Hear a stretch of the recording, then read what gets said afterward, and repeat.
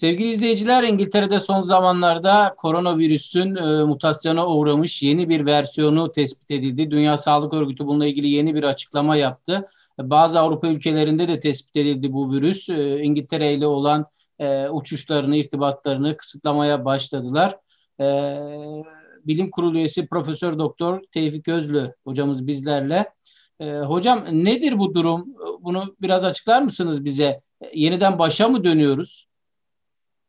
Şimdi e, koronavirüsler sürekli mutasyon geçirirler zaten. Bunu biliyoruz ve izliyoruz da mutasyonları ama e, bu mutasyonların virüsün davranışını değiştirdiğine e, dair bir kanıt ya da bir gözlem yoktu önceden. Şimdi bunun o, farklı tarafı aslında e, bu geçirilen mutasyonun virüsün bulaştırıcılığını e, önemli ölçüde artırdığı yönündeki gözlemler ki e, İngiltere'de başbakanlık düzeyinde yüzde yetmiş bir artış olduğundan söz edildi ki e, bu doğruysa eğer çok önemli bir e, özellik kazandırıyor virüse. Tam olarak yani, ne anlama geliyor hocam bu? E, virüsün çok hızlı yayılacağı anlamına geliyor. Yani daha önceki bulaşmaya göre e, salgının daha hızlı bir şekilde yayılmaya devam edeceği anlamına geliyor. Tabii e, ne kadar doğru bilmiyoruz. Yani bununla ilgili e, şey e, devlet düzeyinde açıklama yapıldığına göre hem başbakan hem sağlık bakanı düzeyinde açıklama yapıldığına göre ve ciddi kısıtlamalar, yasaklamalar devreye girdiğine göre ve bazı ülkelerin de bu bağlamda İngiltere ile uçuşlarını iptal ettiklerini açıkladıklarına göre e, ciddiye almak gerekiyor bu açıklamayı diye düşünüyorum ben. Hocam e, bugüne kadar ki bugüne kadar belirlenmiş artık standartlaşmış e, koronavirüse karşı tedavi yöntemleri var bu tedavi yöntemlerinde etkiler mi? Bu tedavi e, yöntemlerini de etkisiz kılar mı bu mutasyon?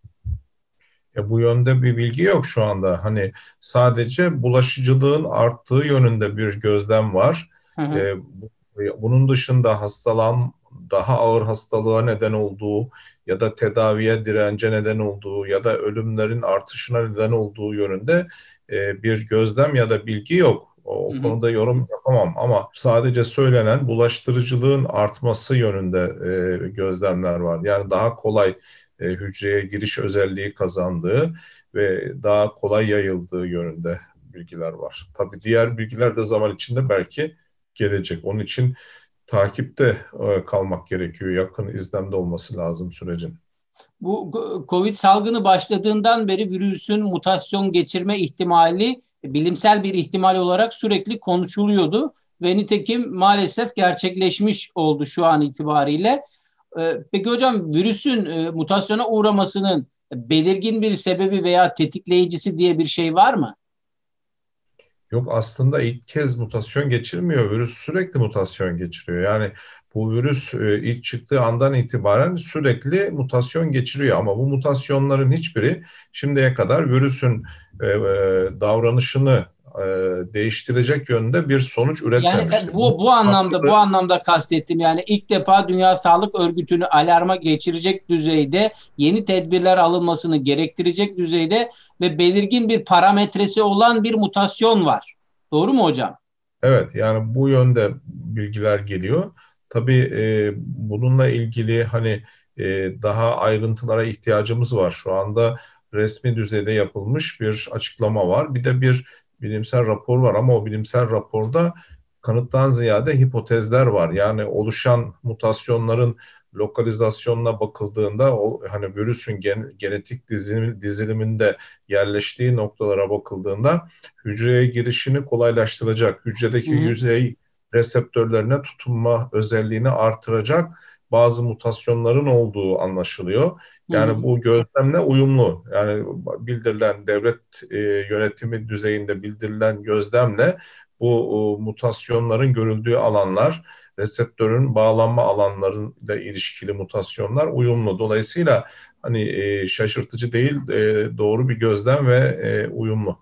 Peki hocam yani çok bek bu, bu, bu dediğinizden çok beklenen bir mutasyondu diyebilir miyiz? Şimdi şöyle yani bu mutasyonlar rastlantısaldır. Yani belli bir beklenti veya bir mantıkla ortaya çıkmaz. Tamamen tesadüf olarak ortaya çıkar. Yalnız şöyle bir seçilme olur. Virüsün işine yarayan mutasyonlar e, seçilir. Bunlar e, virüs bu yönde değişir. Yani hangi virüs mutasyon geçiren hangi virüs daha iyi yaşayabiliyorsa, daha kolay çoğalabiliyorsa, daha kolay hayatta kalabiliyorsa o virüs tutunur. Diğer virüsler ortamdan silinir. Dolayısıyla bu e, virüsün hayatta kalmasını artıracak bir mutasyon olarak gözüküyor. Bulaşma hızının artması, hücreye giriş özelliğinin artması bu virüsün seçileceği anlamına geliyor. Yani eğer doğruysa bu yakın zamanda e, İngiltere'de tabii öncelikle e, diğer virüslerin yerini bu mutant virüs alacaktır. Ve bu tabii oradan da diğer ülkelere ve dünyaya da yayılarak bir ikinci dalga e, oluşturabilir. Böyle bir risk taşıyor tabii. Şimdi aşı çalışmaları başlamıştı hocam. Aşılar bulunmuş ve aşılama çalışmaları da yavaş yavaş başlamıştı. Bu da yeni bir ümitti e, salgına karşı. E, bu aşılar boşa gitti gibi bir endişeye kapılmalı mı insanlar? Yok. Şu anda öyle bir durum yok bilinen ama hani böyle bir olasılık, e, hipotez olarak, e, olasılık olarak konuşuluyor, tartışılıyor bilimsel olarak ama böyle bir şey olduğuna dair kanıt yok. E, biraz da düşük bir ihtimal. Çünkü bu aşıların çok sayıda aşı var ve farklı hedeflere yönelik aşılar var.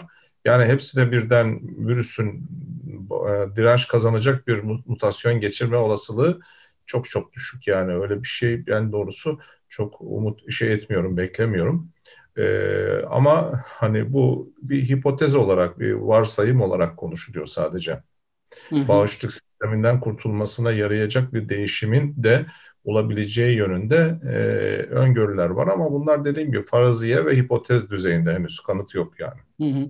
Peki hocam e, daha e, çok yeni bir durum sayılır ama e, yine bu Dünya Sağlık Örgütü'nün uyarısı ve Avrupa ülkelerinden bazılarının işte Hollanda'nın, Belçika'nın İngiltere ile uçuşlarını kısıtlamasını da göz önüne alırsak Türkiye'de bilim kurulunun buna yönelik bir değerlendirmesi, bir kanaati veya teklifi olacak mı veya oldu mu? Yani bu konuda karar verici olan kamu yönetimi. Yani biz bu süreçle ilgili takibimizi yap, yazı yapıyoruz ve e, görüşlerimizi, endişelerimizi, e, önerilerimizi her zaman her konuda olduğu gibi bu konuda da dile getiriyoruz. Ama hani bu konuda karar almak ve uygulama yetki ve sorumluluğu kamu yönetiminde. Onun için onun bir şey diyemem yani olur olmaz diye bir yorum yapamam. O bana düşmez. Hocam e, e, yani e, az önce konuştuk ama ben tekrar oraya dönüyorum. Bu düzeyde mesela hani ölçülebilir düzeyde en azından e, söyle e, yüzde yetmiş artış hızı var denilebilecek şekilde bir dönüşüm daha önce olmuş muydu? Mutasyon olmuş muydu bu şekilde virüste? Evet bazı mutasyonlar oldu. Onlarda da bu e, virüsün spike proteinlerinde artış olduğu ve bunun da virüsün bulaşmasını kolaylaştıracağı yönünde daha önce makaleler de yayınlandı. Yani kez olmuyor bu. Ama bu İngiltere'deki e, şeyin e, e, bildirinin farkı şu. İngiltere'deki vaka artışlarıyla bu mutasyonun e, ilişkili olduğu yönünde açıklamalar var. Yani bu sadece laboratuvarda ortaya çıkan bir gözlem ve bunun paylaşımı değil, toplumda da bunu destekleyen... Daha da karşılığı var yani pratikte. Evet, yani bir karşılığı var gibi gözüküyor. Eğer böyleyse o zaman tabii biraz farklı oluyor. Yoksa daha önce de... gerekir mi hocam? Ya tabii ki endişelenmek gerekir. Çünkü e, gerçi şöyle bir durum var. Eğer bu virüsün bulaşmasının artması daha fazla hastalık yapmasıyla ilişkili değilse, daha fazla öldürülmesiyle ilişkili değilse e, o, yine de tabii daha çok sayıda insan enfekte olacağı için daha çok hasta çıkacak, daha çok hastane yatışı olacaktır. Ama bazen bu mutasyonlar bulaştırıcılığı artırırken hastalık yapma potansiyelini düşürebilir. Hmm. Böyle bir durum olursa bu sefer hafif bir hastalık şeklinde, asemptomatik şekilde geçirilebilir. Böyle bir hani durumla birlikte mi bunu biri bilmiyor, bilmiyoruz. Dolayısıyla Anladım. bu bilgiler olmadan hani konuşmak zor.